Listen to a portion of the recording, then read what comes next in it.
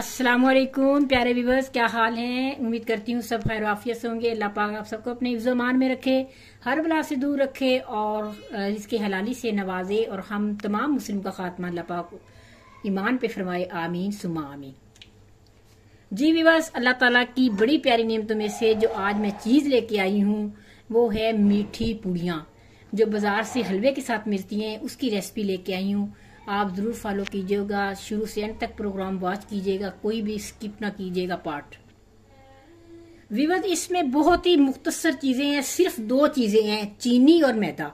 अब मैं बता दूँ, मैंने ये तीन कप लिए हैं मैदे के। और दो कप मैंने लिए हैं ये चीनी के।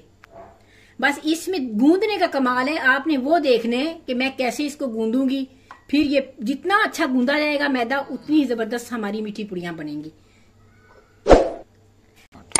जी भी बस। ये हमारा मैदा आ गया। मैंने बड़े बोल में डाला हुआ। पहले से ये है दो कप चीनी। बिस्मिल्लाह ये चीनी में इसमें ऐड करूँगी। इसमें मैंने इलायची के कुछ दाने भी डाले हुए आपको ब्लैक ब्लैक नज़र आए होंगे। अब मैंने क्या करना है? आपके हाथ अच्छे से वॉश होने चाहिए। बिस्मिल्लाह पहले मैं अच्छी तरह चीनी को मिक्स करूँगी मैदे में। अब मैं गूंदना स्टार्ट करूँगी। थोड़ा थोड़ा पानी डालते जाना है। हमने इसको गूंदते जाना है। बस मैं पानी थोड़ा थोड़ा डालती जा रही हूँ और गूंदती जा रही हूँ। इसको हमने बड़ा ले, लेस लानी है इसमें।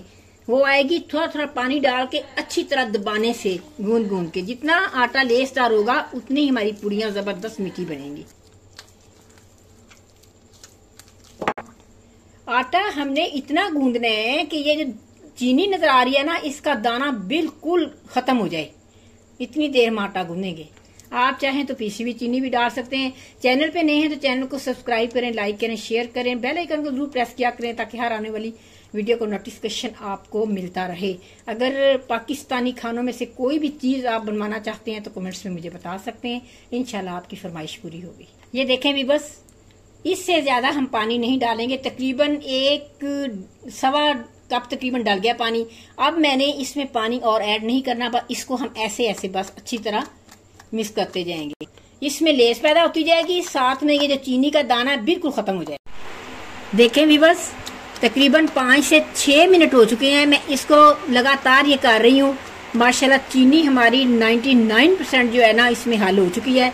अब मैं इसको छह से सात मिनट इसको रेस्ट दूँगी, उसके बाद फिर बताऊँगी आगे क्या करना है। जी विवर्स तकरीबन 20 मिनट मैंने इस बैटर को रेस्ट दिया। अब माशाल्लाह इसकी आप देख लें कंडीशन कैसी है। इससे पतला आपने बैटर नहीं रखना। नंबर दो, ये है कि ये ज़्यादा डीप फ्राई नहीं होते, ये शैलो फ्राई होते हैं। और इसकी आँच, जैसे आम पुड़ियाँ बनाते हैं ना, हम दूसरे वाली, खोलता हुआ तेल और बहुत ज़्यादा हो, वैसे नहीं, इसमें कम तेल डलता है। और तेल बस गर्म हो, इतना नहीं कि उसमें धुएँ निकल रहे हो। जी भी बस ऑयल मैंने गर्म होने के लिए रख दिया है।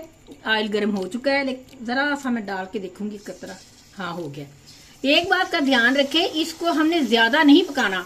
जितना ज़्यादा पकाएँगे, ये उतने अकड़ते जाएँगे।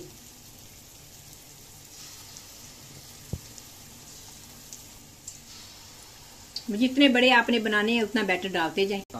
पहले एक तरफ़ से थोड़े पक जाए और फिर दूसरी साइड चेंज कर लेंगे। ये साइडों से गोल्डन होते हैं, दरमियान में से थोड़े से व्हाइट व्हाइट होते हैं। बस ये जैसे एक तरफ़ से रंग है, दूसरी तरफ़ हल्का सा रंग देकर उतार लेना, ज़्यादा नहीं पकाना, वरना अकड़ जाएँगे। ये देखें भी बस, ये इसकी साइडों से रंग आने लग गया है। अब इसकी साइड हम चेंज कर देंगे। पहले नीचे से हमें देख लेना है कि अच्छी से गोल्डन ब्राउन हो चुका है, फिर हम इसकी साइड चेंज कर लेंगे। चेक करती हूँ नीचे से। हाँ तकरीबन हो गया है। अब इसकी साइड चेंज कर देंगे हम।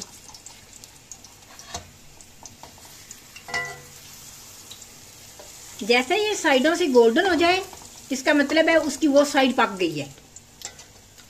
ये देखें, आप कलर देख लें इसका। नीचे से भी, ऊपर से भी। इससे ज़्यादा नहीं पकाना, वरना ये अकड़ जाएँगे।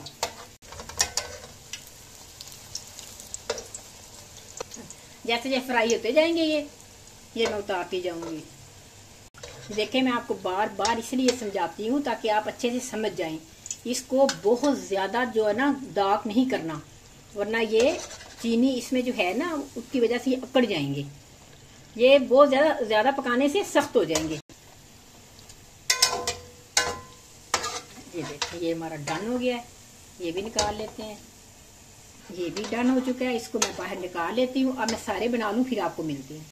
अल्हम्दुलिल्लाह, देखें विवज माशाल्लाह, कमाल की हमारी टिक्कियाँ बनी हैं मीठी। विवज एक बात आपसे कहना चाहती हूँ कि ये हमारी सकाफती डिशेज हैं, इनको ज़रूर ट्राई किया करें। तो मैं आपको ये तोड़ के भी दिखाती हूँ, ये देखें अंदर से, माशाल्लाह, कितनी जूसी है। माशाल्लाह, कमाल की चीज़ है ये देखें। आपने इसको ज़रूर ट्राई करना है और जिस तरह मैंने बताया है, उसी चीज़, उसी मतलब के तरीके को फॉलो करना है। तो ये इस अपना बरसात का महीना है तो ये खट्टी मीठी कभी तीखा कभी फीका कभी मीठा अच्छा बहुत लगता है। इसलिए मैंने ये बनाई है डिश तो आपने ट्राई ज़रूर करनी है। लो जी ये बरसात के मौसम को दुबाला करेगा ये जायका आपका। चख के दिखाओ कैसी बनी है। हम्म बहुत मज़ेदार ज़बरदस्त। और बीच में से नरम और साइडों से क्रिस्पी है बहुत ज़बरदस्त तो असल ये रेसिपी यही है। तो ठीक है वीवर्स इंशाल्लाह अब आपसे इजाज़त चाहेंगे। नेक्स्ट वीडियो में कोई ज़बरदस्त जमी सी डिश लेके दोबारा आपकी खिदमत में हाजिर होंगे। तब तक के लिए सी अमान अल्लाह।